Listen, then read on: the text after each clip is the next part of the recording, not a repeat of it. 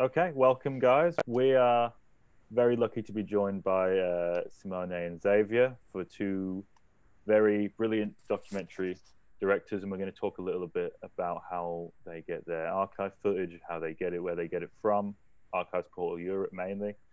Um, two documentaries about uh, sort of similar subjects. Uh, we'll start with uh, Simone's, which was called Fulci for Fake. Do you want to tell the audience just a little bit about it, real quick? Yeah. Um, hi, everybody. uh, Fulci for Fake is uh, the first uh, biopic uh, about uh, Italian director Lucio Fulci. Um, Lucio Fulci was, uh, he died in 1996. He was a, a genre movie director. He directed about 60 movies. Uh, from uh, comedy to western, um, uh, from historical period uh, uh, drama to uh, erotic movies, but is nowadays known all over the world um, for his horror and thrillers, thriller movies. Fulci for Fake um, tells the story of Lucio Fulci, um, not uh, in a chronological way, not from uh, A to Z, uh, but uh, it, it, tries to focus on the man, uh, the man behind the director, and uh, how his way of living influenced his way of making movies. Amazing. Yeah, fantastic documentary. Uh, as I Thanks. said, um, Xavier, do you want to go into the, the years of lead, which is another brilliant insight? Thank you, and th- thanks for having me on this panel. So, the documentary That's La Morte, Italian cult film in the years of lead, looks at a very turbulent period in Italian history. It lasted from really around 1969 to 1983 and was a period in Italy dominated by left wing terrorism and right wing terrorism that resulted in over 14,000 Italians losing their lives. And um, what it seeks to do is assess how this period of trauma impacted on Italian popular film, and specifically the films that were produced by the prolific Italian production house Dania Film. Dania Film were a production house headed by director Sergio Martino and his producer brother Luciano Martino, and they um, they really uh, generated a, a, wealth of films from cop movies to giallo thrillers to sex comedies that seem to really directly reflect this turbulent period. So it's the first time Italian popular film has been put under the microscope with a serious lens that links us to this links it to this terrorist period. Yeah, yeah, absolutely. That's um, a, good overview of it. And the the thing is, what we're mainly here to talk about is the resources you both pulled uh, in terms of archive footage um, for across uh, these periods of Italian cinema, which even though with Fulci mainly was sort of 70s, 80s uh, period of films, with Years of Lead mainly sort of end of the 60s to the 70s. But as is made clear in both the documentaries, so many films were produced within this, you know, 12, 14 year period. So there was, I imagine, a lot of archive footage to gather from because it was it was such a great volume of, of great film um, so uh, I'll put this question out to, to both of you. What was the starting point for gathering the footage? Where where was the first port of call for that? Uh, Simone, if you want to go first. Well, uh, how can you make a picture about a director without using uh, scenes from his movies? um, of course, it, it's not so unusual. Um, there are lots of documentaries about musicians, uh, about uh, uh, directors, actors without footage from their video clips, uh, from their movies. When um, me and uh, Giada Mazzoleni, the producer of the of the of Fulci for Fake, started to, to, to argue about uh, uh, this theme, well, I, I, I, wrote a first draft uh, with uh, lots of scenes of uh, mm, moments from Fulci's movies. It was like, uh, okay, Sergio Salvati, the cinematographer um, of Lucio Fulci, talks about the famous scene of the eye splinter in Zombie. Okay, um, so uh, use uh, one minute from Zombie. Uh, Camilla Fulci, the daughter of uh, Lucio Fulci, talks about the success of uh, White Fang. Okay, two minutes from White Fang. So I, I arrived at the end of the draft and uh, there were about uh, 30, 35 minutes of scenes of Fulci's movie. Um, it was not possible uh, for me and for the, pro the production to have uh, so many scenes uh, from Fulci's movie. Um, on one end, uh, because it was it will be it was going to be too expensive and uh, also too difficult because uh, the, the, the owners of the of the rights uh, were several and sometimes it was not so easy to discover who had the rights of that movie and uh, the rights uh, were for Italy, uh, worldwide, television, cinema. So it was very, very difficult. And secondly, I um, we were going to to have different footage uh, material uh, like um, home movies of the Fulci from the Fulci's family, um, backstages of uh, uh, his movies, and also several pictures, uh, private pictures, and also from from the set. And that kind of uh, material was never seen before. Well, now nowadays uh, you can go to on YouTube and you can see all the fam- most famous scenes from Fulci's movie. Um, audience um, are used to watch uh, movies at home with the the the smart the smartphone on one hand, and so they they they can uh, no uh, immediately after the ending of uh, a movie like Fulci for Fake, uh, go on the web and see that scenes. Uh, the the uh, never seen before material we found and we used the audience, well, the audience can watch it only on Fulci for Fake.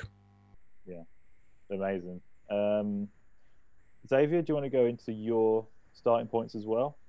Yeah, I mean, the starting point for our documentary was slightly different in that fact that it came out of a research project. So um, I'd previously written a number of books and chapters on Italian cult film of the 70s. And um, increasingly, I'd, I'd two things that occurred to me that what was missing was much more of an awareness of that social context. So, you know, previously studies of Italian uh, cult films had, first of all, focused on their filmmakers, directors. Um, they hadn't really focused on the producers, which I, I thought was interesting. And at the time, I was sort of thinking through that conundrum. A lot of work had begun filtering through on the importance of producers to the national cinema landscape. So that, you know, bringing the producers' perspective uh, to the fore was one thing that interested me, alongside that social context of what was going on in, you know, why, what was going on in Italy at that time to really. Um, uh, sort of underpin this wave of violent, subversive, often sexually explicit films, and why did they suddenly disappear in the mid 80s? You know, so that was a kind of almost like a theoretical starting point. We then focused on Dania film um, for two reasons, really. First of all, they answered the producer's question because they were headed by a very iconic producer in the figure of Luciano Martino. And it's interesting in in our uh, research, we actually uncovered a number of Fulci links. So I, I, Simona's right. You know, I mean, some of the films that are Fulci films ended up being Dania products or Dania had a distribution role in them. And that's not immediately apparent. So there was like a, a jigsaw of hidden histories that was really fascinating to uncover.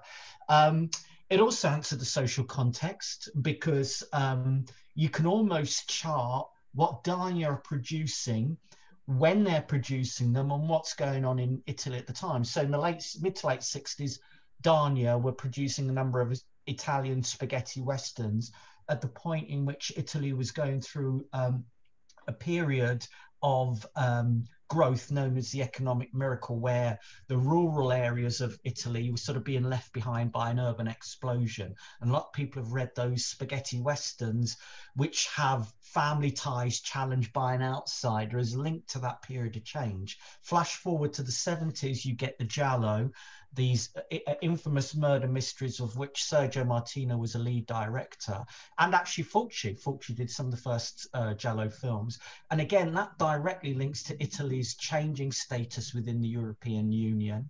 So we seem to have a social link there. Flash forward a bit further to the mid to late 70s.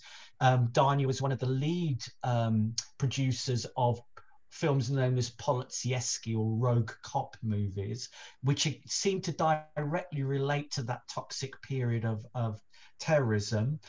They also did 34 sex comedies, and these sex comedies, although they're often dismissed, again directly linked to what's happening in Italy at the time, where you have certain uh, legal challenges around female sexuality, around marriage, around abortion, and you also have females entering the workplace for the first time in a in a pronounced role. So those films, which often have a very independent heroine, again directly linked to that Italian context. So it answered the question about the role of the producer. It answered the question about the context, but crucially. Um, Luciano Martino passed away in, in 2013, and Dania eh, um, has, although it's no longer active, has one of the key resources, has a major archive uh, that it that we requested access to, and they very kindly gave it to us. So that gave us access to a number of still images, a number of um, uh, uh, trailers and extracts, a, a number of uh, or, or sort of uh, various bits of uh, censorship dialogue with state bodies. So there was a whole range of materials that that allowed us to access that really allowed us to bring that project together. Interesting. So there is uh, it's not as clear cut as it seems sometimes. You really have to, you really have to look around for this stuff. Um, it, it's almost like there's a start point, a bit like Simona's documentary as well. There's a start point, but you never know where it's going to end. And we are dealing with hidden histories because the kinds of projects that both of us are, are dealing with are putting on the table directors, producers, organizations that have really been dismissed within the national mindset. So, as well as hopefully being interesting um, projects that the festival audience want to watch that they are historical projects i guess simona as well because they are filling the gaps. Would you agree? Yeah. Yeah um, um about uh, about lucio fulci um, i can say that uh, after his death um, several uh, books um, has have been uh, published about him. Uh, several uh, featurette documentaries um, have been shot and included in home video edition of his movies. Um, many things have been said about uh, Lucio Fulci. So the historical point of view of, uh, of Fulci for Fake um, was uh, mm, uh, focused on uh, mm, the man and why uh, this genre director uh, found in horror movies the kind of cinema that best portrait his way of being a filmmaker and his vision of uh, the world. So maybe th this aspect is, uh, um, I think, the the the, the most uh, original um, point of view of through Lucio Fulci. Um, anyway, um, Fulci uh, did uh, shot his movies because Italian industry asked him to do them. He almost never decided what to, to direct. Producers called him and he always said yes. And starting from uh, the end of the, the 50s uh, till the beginning of the 90s, uh, he passed through uh, all the changing in Italian way of making movies.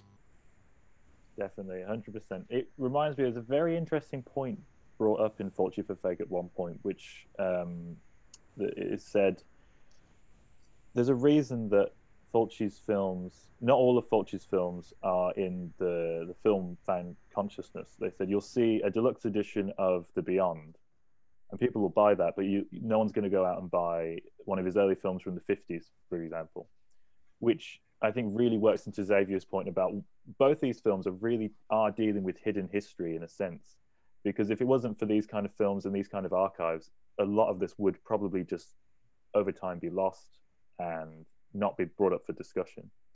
So um, in that sense, it's really important. Um, as opposed to the the interviews you conducted for both the documentaries, um, would you say the the archive footage you used was more of a, a, supplement to what they were saying, or or more of an important piece of the film? Uh, if if you know what I mean, uh, Xavier, do you want to go first? I, I think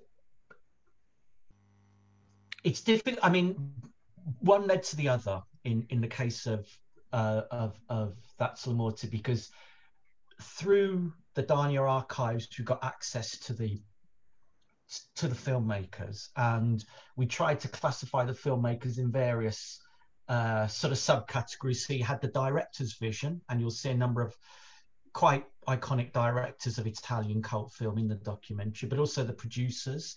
We had the screenwriter's perspective, the performer's perspective, uh, and the musicians. So we tried to sort of sub categorize those, but all of those interviews wouldn't have had the context they had without um, without the Dania material. That it was almost like the archive gave us the mind map and the interviews followed. And I think it, in a way, it's sort of linked in to what Simona said earlier is, you, you know, uh, I'm a big fan of Fulci for Fake, and I, I was really honored to be to help um, uh, introduce a screening of it at the, at the, Mockingbird. And I think it's it's a really innovative documentary. And again, it's it's the archives really come to the fore in in that. And I think both documentaries are slightly different from the kind of documentaries which are also great that are out there. And Simone's m- mentioned these where they're just endless interviews. Does that make sense without a context? So I, I think th- the archive provided the crucial context. And without that context, the interviews wouldn't have had the, the, the sort of weight that they require. Yeah, that makes sense. Would you say the same for Fulci for Fake, there, Simona? Yeah, yeah, I totally agree. Um, in, in Fulci for Fake, uh, um, anyway, uh, we we sold it as a documentary, but uh, it's a it's a fictional movie. Yeah. Uh, we have the, the, the, the, leading actor Nicola Nocella playing an actor who's going to be Lucio Fulci in a fictional biopic about the director. So all the documentary documentaristic parts uh, like uh, the interviews, uh, like the archive footage are are seen through his eyes, through his um, uh, role in this uh, uh, biopic, he, he, need, he needs to study Lucio Fulci, and so he interviews people, uh, he uh, sees material, um, and the the uh, using using home movies was very important because it it became a sort of uh, um, contrast uh, with the fictional uh, structure of the movie. there's on one side a, a, fictional part, the actor going to play Fulci, something fake, and on the other uh, side, uh, there are uh, the private footage of the Fulci's family. And the, the legend of Lucio Fulci is based on a strange encounter between reality and invention. It, it's really difficult reading uh, um, the, the interviews that Fulci uh, gave uh, when he was alive uh, to understand what is real in in his tales, and so the the style, the the, the form of Fulci for fake uh, portraits uh, this uh, this ambiguity. Yeah, he does that very effectively because starting the film by seeing the actor who's an portraying an actor, portraying Fulci, putting the makeup on to look like Lucio, you think it. Oh, this is not a normal documentary. It does it throws you off in in a, in a in a really good way. And one thing that stuck out with both documentaries, it's they de- they don't feel like they don't feel like supplementary sort of Blu-ray extras or DVD extras. They are very much their own films because they have their own identities for what they're trying to say. Uh, and in terms of that, you know, with the direction you were going in uh, for both of you when you were choosing the archival footage what was the broader context you had to look at um, before you went ahead and, and, and chose it uh, xavier if you want to start I, I think alongside that sort of social context i spoke about earlier i guess the context uh, for using the archive footage was to to really focus it around three broad areas three sort of genres or subcategories that we were looking at. And you know so a, a focus on the giallo for instance the the, the crime thriller and um, trying to link it to what was going on in Dania as a company and also in um, in Italian society. And quite fascinating stuff emerged from the Dania archives. Um, uh, some of which is in the documentary, some of which isn't. Uh, so the, uh, have a lot of the correspondence that um, Luciano Martino and Sergio Martino dealt with in relation to state bodies such as censorship authorities. And for some of their Giallo, it's really interesting what the censor decided to cut. And so they'd cut certain aspects, uh, maybe for violence or explicitness, but also for to reinforce certain gender stereotypes. So there's one uh, Giallo with Edwige Fenech that they they cut a scene or requested cuts for a scene because it made Edwige Fenech look more dominant in an intimate situation, and that was quite fascinating. So actually, start to think, well, this social context is is really interesting. Yeah. Same for the second sub genre of the um, of the um, uh, rogue cop films, and just to get a sense of what we did, which was quite interesting, was we asked every filmmaker that was interviewed in the documentary to describe where they were the day that at the uh, Italian premiere, Aldo Moro was kidnapped by the Red Wing terrorist group. And that was really fascinating to get that sense of trauma and also to get a sense of filmmakers actually um, being on gun ranges while they're making movies. So they're getting training on how to use a gun at home while the same time that they're that they're making these Dania films. And finally, wow. the third subcategory of the um, sex comedies, and just seeing how Dania believed that their early roles of women in industrial positions actually forced the military or the police or the airlines to change their employment policies and start taking more women. So those were the choices we made, you know, the genres and again, what's going on in society and trying to link those personal stories to the political. Yeah, it does that. It does that very well because it's in in some documentaries that go over broad spans of time for the film industry, there's a lot that they give you a lot of information, but the broader political sense sometimes is not there. You know, and then I think a lot of films get hidden under the rug because of that. Films that were poised to be mm. Blockbuster, even in in the states, you know, films like uh, Black Sunday, they were about terrorist yeah. organizations swept under the rug because it's just not part of the of the um the consciousness. Uh, Simone, for you, what was the the context you had to look for for getting your archival footage? Well, the the the, the context was, uh, as I said, never seen before, and uh, it was not uh, only related to the to the archive footage, but also um, uh, with the interviews.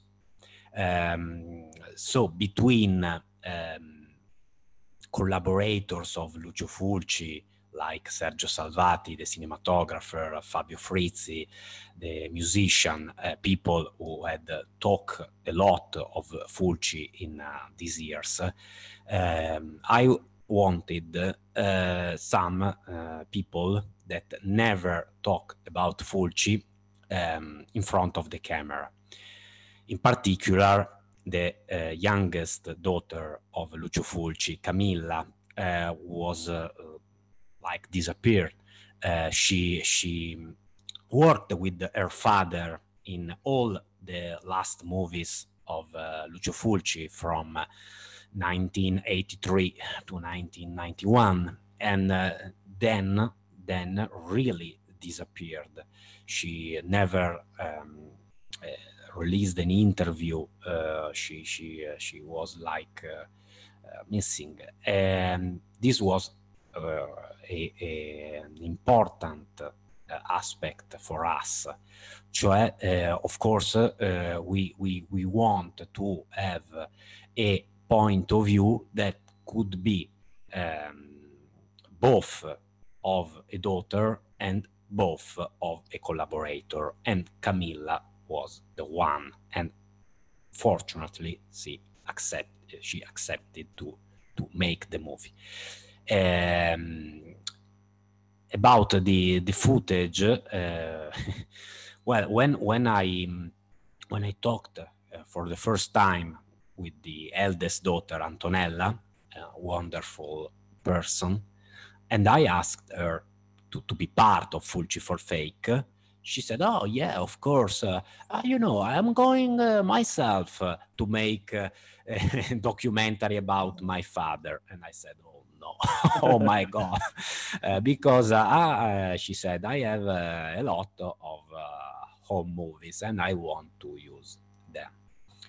But then, when when I met her and I explained her the, the, the structure of the movie uh, she said, well, I think that this is better than my idea of, uh, of a documentary. And, uh, and so she, she, she gave us her material. Wow. It was, it says a lot that this is one of the first, you know, featured documentaries about Fulci because it could have been a very sort of standard talking heads um, interview. Yeah yeah and, and mm, I, I i can say that uh, uh, this is the i think the the most interesting element of fulci for fake and it is also uh, its limit um, some uh, some uh, fulci fans uh, disliked this way of uh, narrate the story of Lucio Fulci. Some um, have preferred to see scenes from his movies that they they they have watched several times, Yeah. but I I can understand. Uh, on the other side, uh, lots of people that uh, haven't seen any Fulcis movie movies, watching Fulci for fake, uh, said to me, wrote to me that the movie um, was uh, um, so interesting, also without scenes from Lucio Fulci's movie, that uh, brought them to to see, to watch, to finally watch. Lucio Fulci's movies. Yeah. So the absence, the absence for someone uh, works better than uh, having uh, lots of scenes in the in Fulci for fake. Absolutely, and as you said, it's made in a time where that type of footage is so easily accessible. It's kind of your film would hopefully work as a jumping off point for fans that you say have never seen a film of his to go and explore it because you what is great is you don't give them all that on the plate. It's kind of if you're interested, there's a whole catalog of his films so you can go and and, and Yeah, yeah. I I must be honest. Of course, if we had the possibility to to use uh, some scenes in in a way that uh, could be for for us convenient, maybe yeah, we had used them. But uh, uh, instead of uh, uh, choosing just uh, one or two scenes that mm, maybe what was not the right choice, we preferred to have no no uh, scenes from Lucio Fulcis. Yeah, yeah, that that absolutely uh, makes sense. What the, the things that got me as well were the um the stills of um, him and his crew behind the camera. You think you know it's for bigger films, it's pretty common to see them, but for Fulci, you're thinking there's a whole other world behind the camera that we're used to from the films anyway. Uh, and what I was, was going to ask you, Xavier, with yours, as you said, the the genre in Italian cinema you were looking at was so prominent, late '60s, whole of the 70s through all the different subcultures. When it got to the 80s as and as you said those kind of films died down. Uh, was it much harder to find source material for that period of the early 80s or was it still there it, it was definitely on the decline, and I think there's a number of reasons why that, that so-called golden age of Italian cinema did decline. Uh, first of all, from production context, television emerged as a main competitor, so people started divesting uh, economic energies into television, um, and it, secondly, um, although uh, Italy had always been a a really innovative competitor to the US in terms of doing movies on a low budget that always look spectacular. New technologies in America uh, sort of uh, progressed and they didn't in Italy. So you started to see the mismatch between the two cultures. But I think as important, you know, um, uh, someone who appears in the documentary is a very influential academic called Ruth Glynn, and she's come up with the the concept of trauma narrative. She says 1970s in Italy were the narratives were trauma narratives, people working through their social, political anxieties, fears of terrorism, and gender paradoxes. So ultimately, she says, um, what happens in the 80s is you get television. And one of the first things that appears on television are the trials of captured Red Brigade terrorists. So you have this kind of outpouring of further anxiety yeah. on the small screen. So Yeah. people really wanted to move away from genre entertainment and look more towards nostalgia. So the feel good Italian movie or the feel good Italian TV movie takes over. And that's why this period dies. So there is in, still indeed stuff in, in the Dania archives for the 80s, but you definitely get the sense it's a, it's an industry in, dis, in decline. And I think even Fulci in the 80s, he, he, carried on working.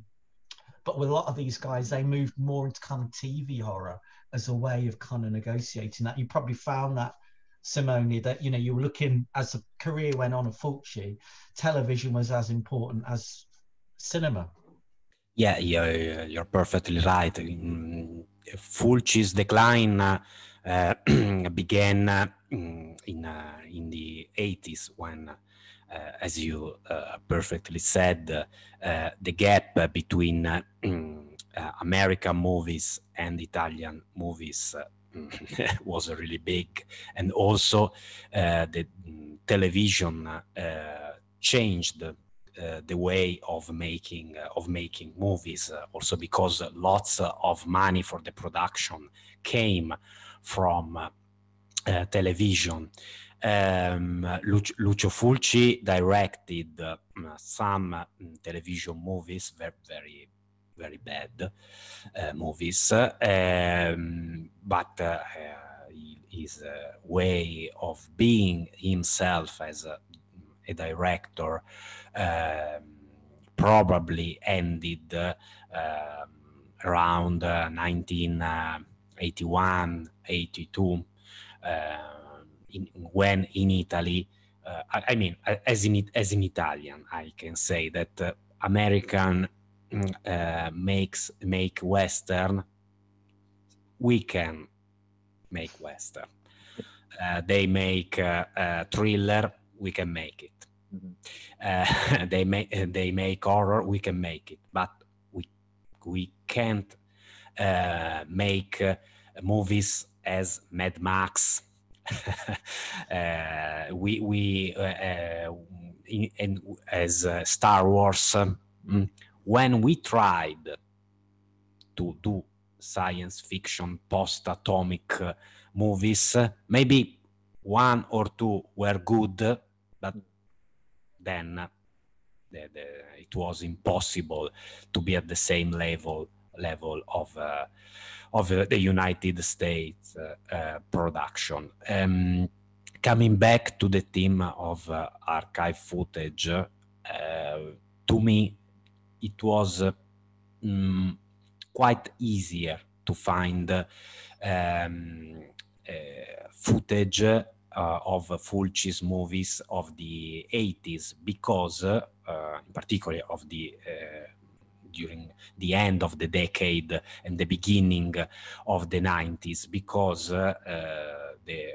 several um, fan of Fulci um, had a lo-fi camera, videotape camera that used to um, make some some backstage of his last movies.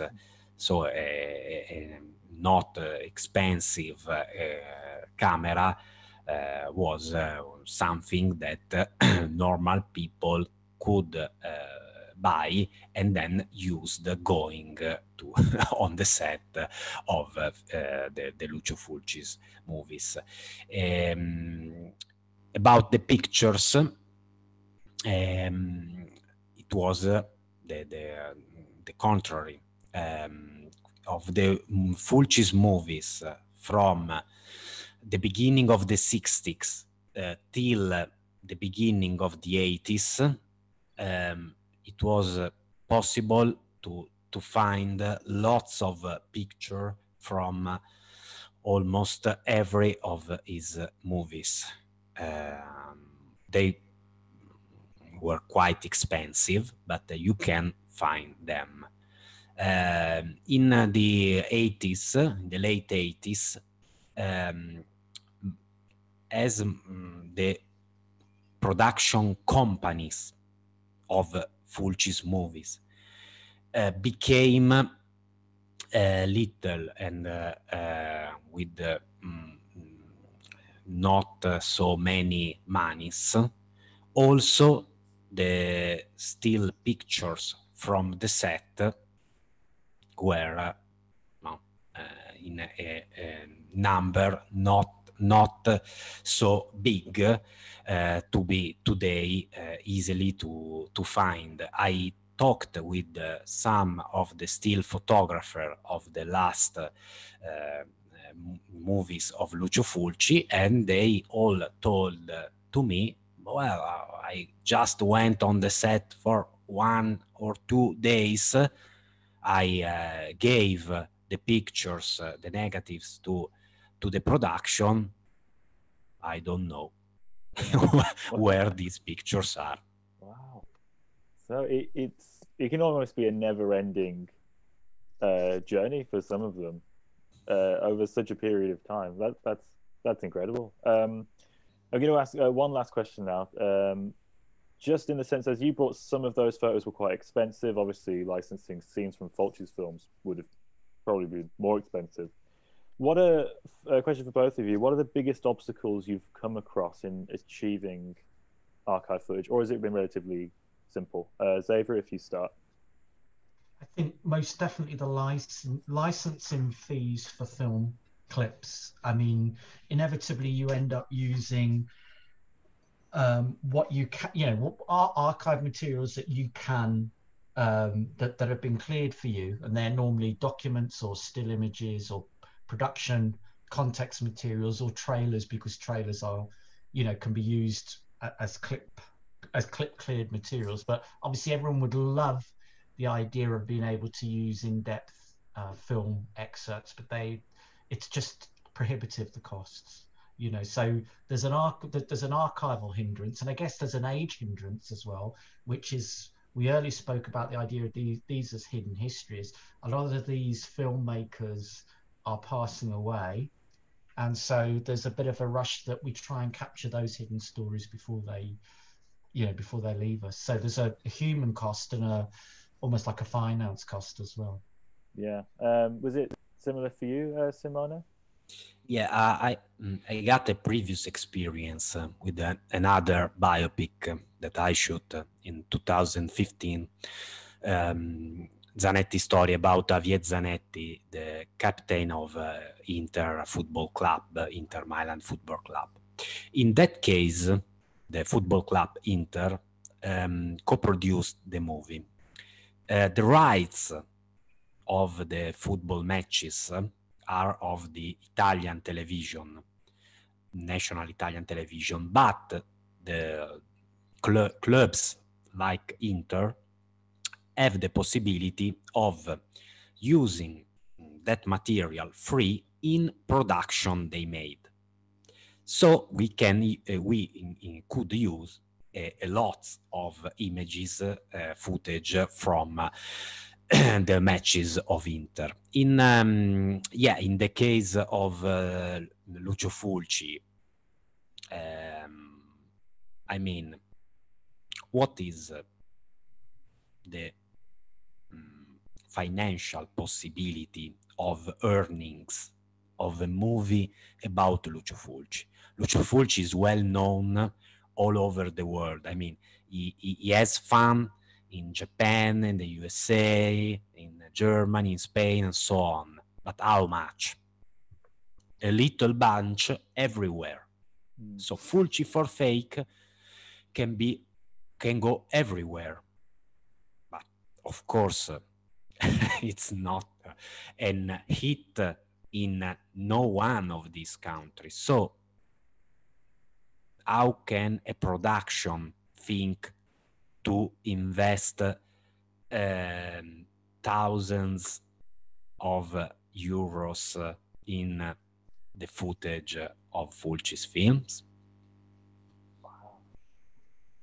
It's it's so interesting you put it like that because like you said, those fans that saw the film and were confused as to why there wasn't the footage, you know, not everyone would probably think on that level, and it is uh, Fulci talking about his fans in that sense is the definition of, of cult cinema in a sense. It is just people that are getting together because it's a unique thing, and documentaries like this, like yours, serve um, serve to enlighten them and hopefully new fans as well.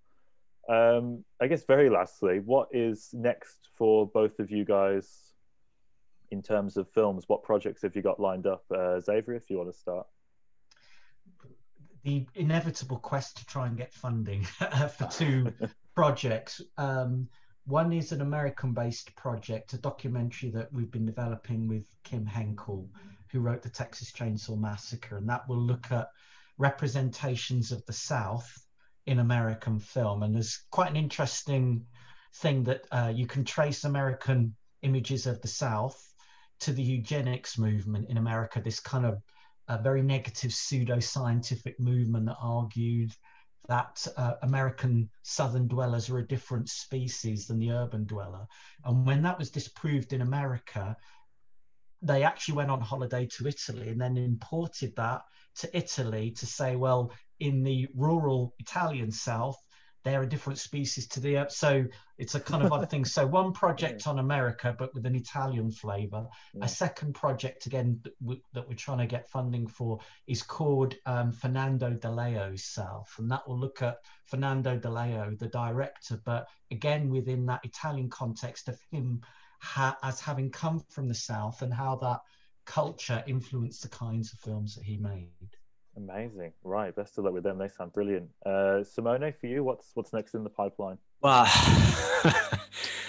um, Fulci was used to to to say that um, one uh, um, journalist, film critic, um, asked asked me, uh, "What's your next uh, movies?" I I replied that uh, another movie, another one. Well, I, well, I, am with um, Giada Mazzoleni, with Paguro Film, so with the same production of um, Fulci for Fake.